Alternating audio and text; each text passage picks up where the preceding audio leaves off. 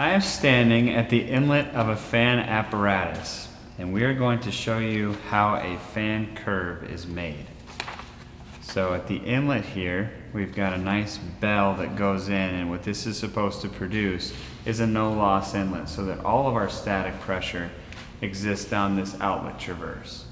So we're gonna head down here towards the spot where we'll be testing to get the static pressure and show you how we develop the different static pressure points along this fan curve. Now I'm standing at the outlet of our test apparatus. So our test point is going to be reading with this pitot tube down here.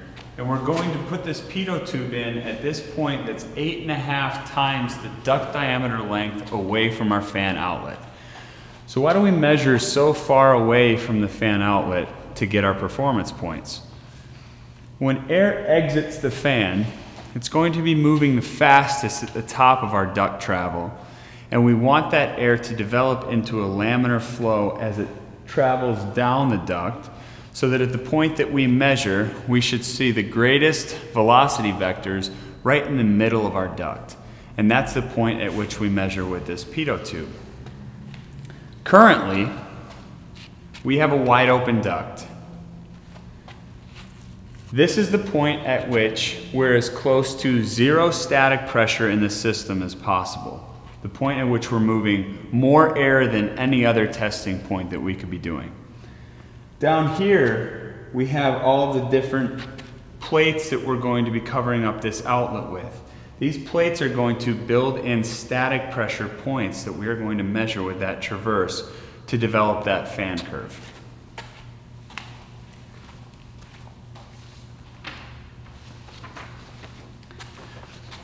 So at the current wide open operating point, on this fan curve that I'm holding, what we will be measuring with the pitot tube is the point that corresponds with the bottom right point on our performance curve.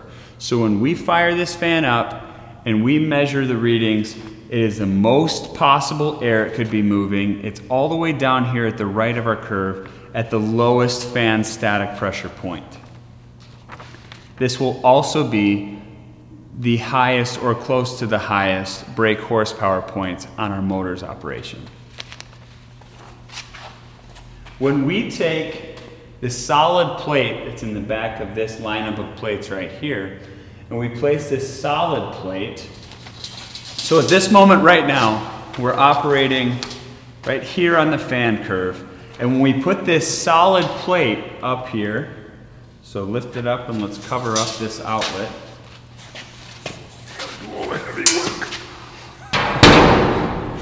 This is the point at which we've closed off airflow through the fan as much as we possibly can. And so along this graph, along this curve that we produce, we're plotting the far left point on the curve that is as close to the zero point on the x volume axis as possible.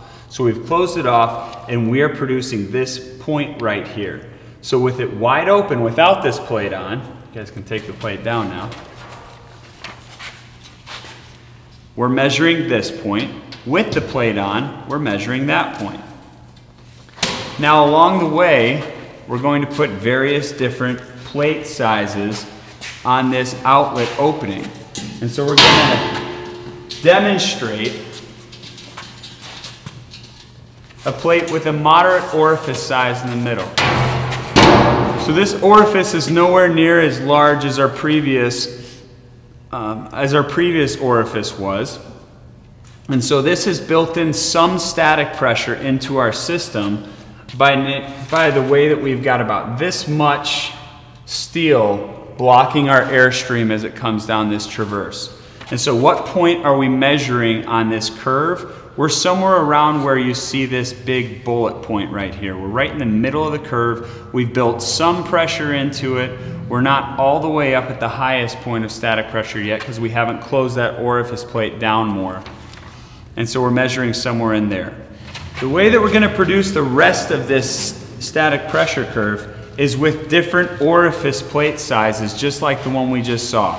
The orifice is going to go from wide open to smaller to smaller to smaller until we have it completely closed off, like we just showed you. And so on this plot, you're going to find there will be between 10 and 12, depending on the orifice plates used. You'll have various points, and those points go onto this raw graph, and we fit a curve to those points that are the fan curve that you're looking at.